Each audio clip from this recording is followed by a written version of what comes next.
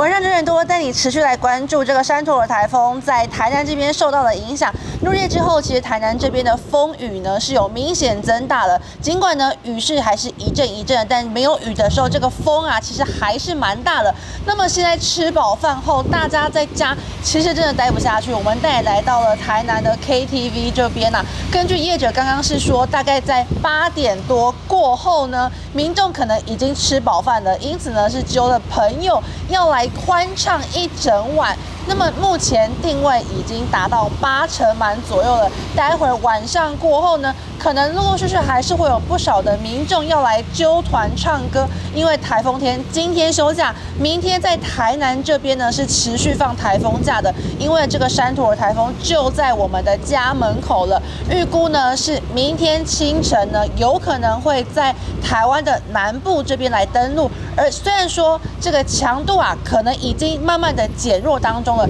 但这个结构整个呢还是算是蛮强的，因此呢气象署也提醒说，不排除可能会有致灾性的强风以及大雨发生的情形，尤其是啊这个瞬间强风刮起来，可能会达到十三、十四级以上的这些强阵风，要提醒民众啊，如果晚一点点，你要趁着这个风雨空档要来唱歌欢唱一整晚的话，还是要自注意自身的安全。